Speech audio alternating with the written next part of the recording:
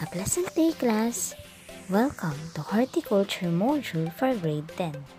This focuses on Quarter 2, Week 2 discussion.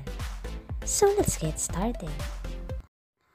We will discuss pre-planting operation for Week 2. Success always starts with a good foundation. A good harvest will not be possible for a farmer if preparations were not made prior to planting.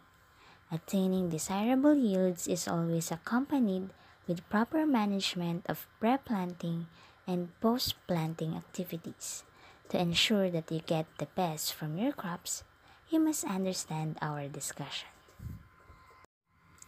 Pre-planting operations are a series of activities carried out in a form of management system prior to planting the seeds or planting materials.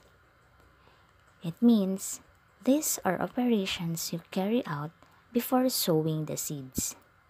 Pre-planting operations are very important. They are the foundation on which you build the success and survival of the crop. In this module, we will going to discuss six examples of pre-planting operations. First, Seed procurement. You are expected to get your planting materials or seeds from a reputable agro-allied store. The word reputable is very important because when your seeds or planting materials are bad, automatically you are going to experience crop failure, also huge losses of investments because the pre-planting operations you had carried out are no longer useful. Second, land preparation. This is another important pre-planting operation in agriculture that most farmers get wrong from inception. Land preparation aims to provide a suitable environment from your seeds and crop. It ensures a sterile environment where crop pests and seed pathogens are eradicated. It also provides anchorage and support for your crop. Third, soil pH determination. I am sure you know that crops also select the type of plant they grow on. You will need to check the compatibility of your soil with the land you intend to use by running a soil pH test.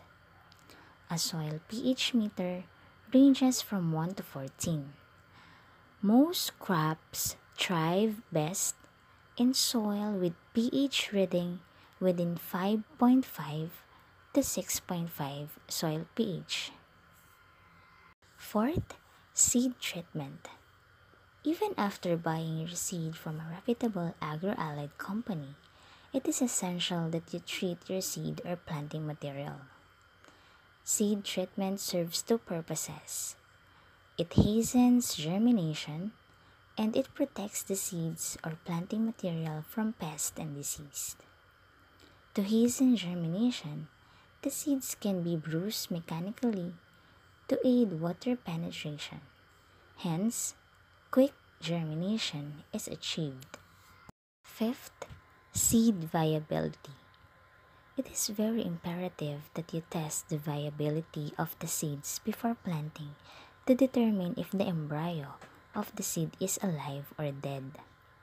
Although in most cases, the manufacturer of the seed would have indicated the viability percentage, you can also carry out a simple viability test using water. Just pour the seeds in water leave for about 20 minutes, the floating ones are dead, while the ones below are the good for planting. Sixth, plant population determination. If you're planting, you should be able to predict your yield. It allows you to estimate your profit and assist in making farm management decisions. There is a formula to calculate the plant population. That is plant population is equal to seed rate times land size divided by spacing. Why use correct spacing? First, it is economical.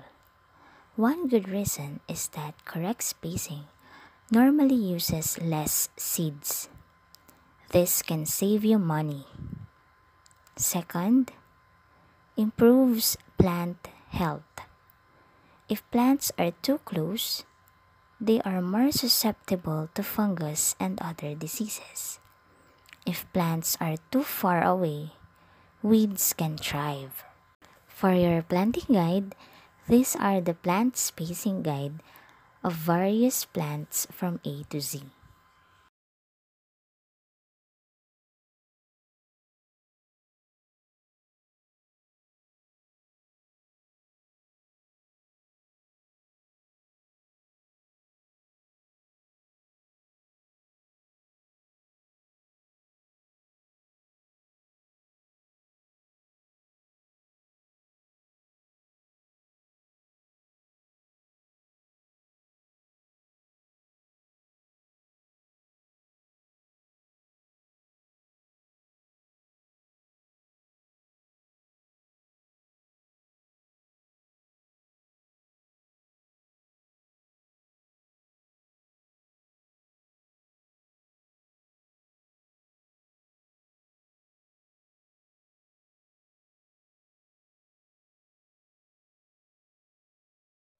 So now, after the discussion, your task is to answer the learning task 1 from page 18 of your self-learning module.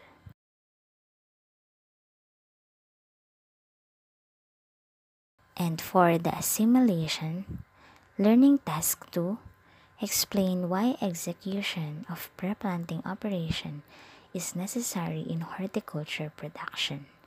Limit your answer in 10 sentences. Thank you for listening. Have a nice day! I hope you learned something from this video. For more videos and updates, don't forget to click the subscribe button and hit the notification bell. God bless everyone!